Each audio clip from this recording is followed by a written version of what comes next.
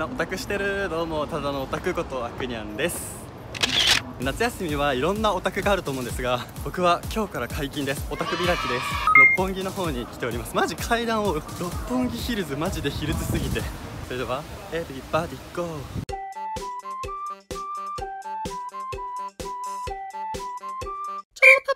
いややべ。やべえな。あれやばいわ。個人的に一番やばかったのはやっぱね金指一世君ですね。めっちゃ大人になっててだってさ今までのイッチェはなんかパッピープピーのイメージで言ったんですけど実際前髪こうやって「おい」みたいな感じでやったりとか感想の時とかもなんかずっと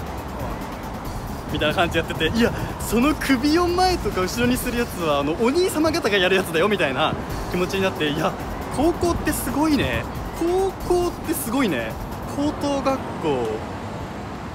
すごいね。そしてですね僕はまあスコヤマスコを見に行ったわけなんですけどありがたいことにパンサーをしてくれて一番最高列で入ったんですけどちゃんとスコヤマくんは気づいてくれて僕がやったことを真似してくれてうわさすがだなってもう本当にねなんつうのかなあのジュニア推しを考えてる人は一回折山なので検索してほしい。全人類が押せばいいと思う。なんかこれを言ってしまうとちょっと福山君にとって負担になってしまうかもしれないんですけど福山君は基本的にあのファンサをすごいいろんな方にも返しててちゃんと。それがなんか見てて微笑ましいんだよね。まあそれを理由にファンになるっていうのはファンサされなかった時に死ぬからやめた方がいいとは思うんですけど、まあ、ファンサを理由にファンになるのはちょっと危ないところでもあるんですけど、まあ、折山君にも負担になっちゃうしこういうおすすめの仕方をしたら。いや本当にいいと思う。マジで。あの押山スコだよね。も うあれ原型ね。マジ本当よかった。本当よかった。もう最高のおたかつ開きでした。確実にファンサがもらえるわけではないと思うんですけど極力自分のファンの子にはファンサをしようとしてるっていうその姿勢がやっぱね押せるよね。だってダンスはダンスでちゃんと踊った後にファンサができるタイミングだったらより多くの一人でも多くの人にファンサをしようとするっていうその心意気っていうのがもうやっぱ押せる山なおだよね。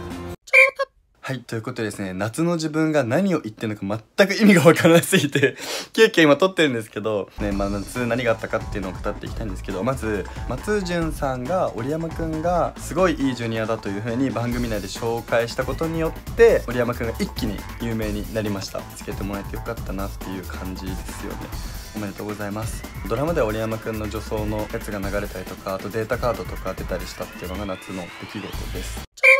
東京ドームの方にも入ったんですけど東京ドームでは、えっと、ゴリ干されてっていうか誰からもファンサーもらえなかったです。びっくりしました。何なんですかね。やっぱ本当こういうことがあるからね東京ドームを嫌いになるんですよ人は。わかりますか？こっちはさ壁やりに行ってねえんだよ。ファンやりに行ってんだよっていう気持ちになるんだけど。まあでもね目黒蓮くんがイケメンだったっていうそれだけでも尊いんじゃないですか？そして、えっと、EX シアターの千秋楽もちょっと友達に誘われて入ってきて鳥山くんも見てきたんですけどその時もねなんかねうん気づいてくれてるのかなっていう気もしたし気づいてくれてないのかなっていう気もしたしうんそれはやっぱ檻のみぞ知る世界だからちょっと織山くんにぜひ聞いてみたいんだけど見えてましたか？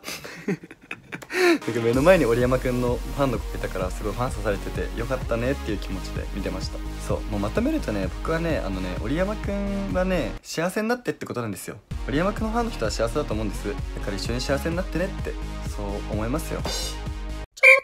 感じで、まあ、僕は織山くんとねひと夏を過ごしたわけなんですけど本当にいい夏を過ごしたなと。去年の夏はですね、まあ、織山くんは悔しい思いとかいろいろしたのかなとかしたんじゃないかなと思うんですけど今年の夏はもう常に真ん中に立ち続けて真ん中でくるくる回って織山くんのソロパートがたくさんあって本当にいい夏だったんじゃないのかなというふうに僕は思います。ドラマにも抜擢されてこれからも織山くん頑張ってください。ということで私も織山くん好きだよとか織山くんに織山したいよっていう人はぜひいいねしてください。織山くん知らないっていう人はね本当に検索してください。僕の画像が出てくるっていう最悪なもう害悪なんですけどそちらの方もぜひチェックしてみてください。コメントも全部読んでるのでぜひコメントしてください。それでは皆さんも推しとお幸せに。バイバーイ。高校ってすごいね。高校ってすごいね。高等学校。すごいね。